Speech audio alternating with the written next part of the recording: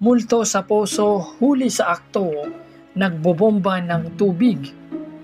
Nakakilabot ang ah, viral video ng isang ah, netizen na ipinost sa social media kung saan makikita ang poso na kusang ah, nagbobomba ng tubig sa madaling araw. Kuha ito ni Jonathan at ayon sa kanya, nagising siya para sana umihi sa likod ng kanilang bahay ngunit naaktuhan niya ang poso na nagbobomba ng tubig. Katunayan ay uh, puno na ang timba na nakasalok dito.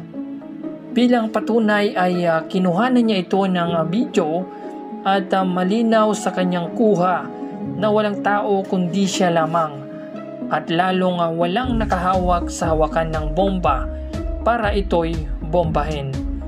Kapansin-pansin din sa video na konting uh, puwersa lang ng bomba pero napakaraming tubig ang lumalabas. Wala din kahit anong tali o anumang bagay na nakakabit sa puso o anino ng ibang tao bukod kay Jonathan. Marami po ang uh, kinilabutan ngunit marami din ang uh, ginawang uh, katatawanan at uh, naisip nga po ng iba na baka ito ay uh, isang prank. Hati naman po ang uh, opinion ng uh, mga netizen at uh, narito po ang uh, ilan sa mga ito. Sabi po ni uh, Jomela Tadeo, di naman po ganon na kalakas ang uh, pagbomba. Bakit ganon kadami ang labas ng tubig? May nakita na ako na ganyan ang bombahan. May nakakonek na ibang uh, bombahan, kaya pag nagbomba sa isa, may lalabas sa isa pang bombahan. Pero magkalapit yung bombahan na yon. Ewan ko lang if baka yan ay may nakakonek din. At ang sabi naman po ni Hardy Dabo, Hahaha, dalawa lang ang bomba niyan. Pag binomba mo yung isa, aandar yung isa. Hinihugop yung uh, pressure ng bomba.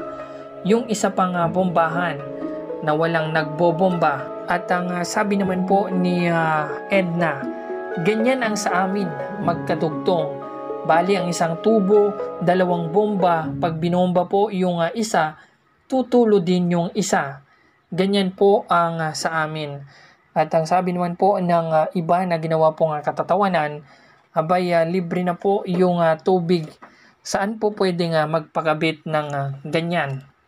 Kapansin-pansin na halos pare-parehas po ang uh, opinion ng mga netizen. Ngunit uh, hindi po may kakaila na marami pa rin po ang uh, kinilabutan dahil sa video nga ito. Ano kaya ang uh, misteryo na bumabalot sa posong ito? Totoo kaya na multo ang uh, nagbobomba? Yan po ang sama-sama nating uh, abangan sa kapuso mo Jessica Soho ngayong linggo. Maraming maraming salamat. Huwag po natin kalimutan mag-like, mag-share at mag-subscribe.